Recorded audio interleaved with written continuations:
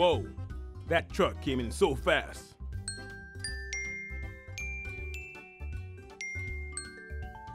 I wonder what's going on.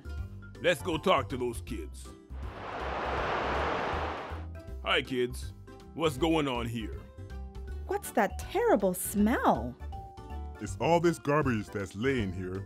Hi, I'm the garbage man. These kids left all this garbage sitting out here. Kids, why would you do that? Well, we were making crafts in my house. And we had so much garbage.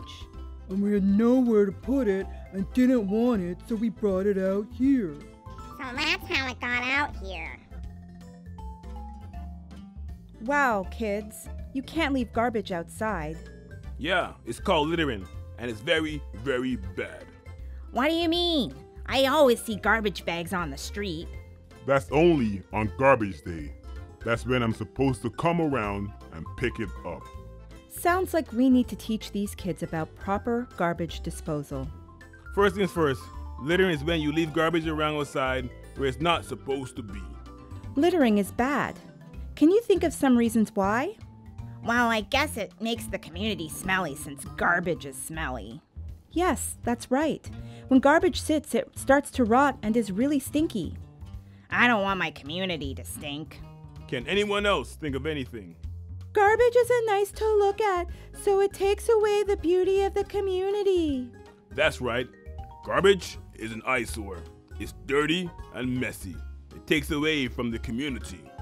I definitely wouldn't want to stare at garbage all the time. All right, what else can we think of? If someone throws glass on the ground, it could break and really hurt someone. That's right. Glass is a big problem. It can be hard to see, and people can step on it and hurt themselves. Ouch. Okay, kids, can you think of one more? Uh, I guess if someone litters and someone else sees it, they'll think it's okay for them to do it too. That's right. And then we'll be left with more litter. These are all good points, kids, but there are still some other really important factors. Litter has the largest impact on the environment.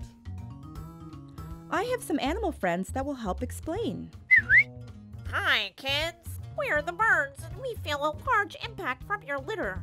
We fly high in the sky looking for food.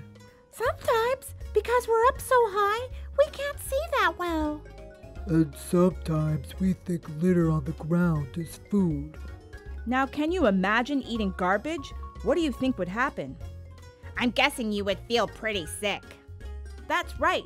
Eating garbage makes us really sick because our stomachs can't digest it. And it's not just birds that are affected by litter. Litter also ends up in the oceans. Oh no! So fish end up eating litter too? Yes, fish, whales, dolphins, seals, you name it. Oh no, I didn't know all these animals were affected by litter. That's right, kids. Thank you, birds, for that important lesson. Anytime. We want the world to be a better place. Do you kids understand now why littering is so bad? Yes, and we'll never litter again. Can we do anything to help? Yes, as a garbage man, it's helpful to me if you separate your waste, recycling, and compost. This way, everyone's garbage can be disposed of in the right way. How do you know which is which? Recycling is things like glass bottles, plastic bottles, cans, cardboard, or paper. Compost is food waste, things like food scraps or leftovers. And waste is anything that doesn't fall into the recycling or compost categories. That's not so hard. No, we can definitely do that. Friends, I have an idea. Why don't we go around the community and pick up litter? That's a great idea. I have some extra bags in my truck that you can use to put them in. Thanks so much. Thanks, kids. If everyone helps a little bit, it will make a big difference. Thanks for teaching them. I'll clean up the garbage now, too. Anytime. Our pleasure. Well, Superman, it looks like our work here is done. Great job, Superwoman. Now let's go.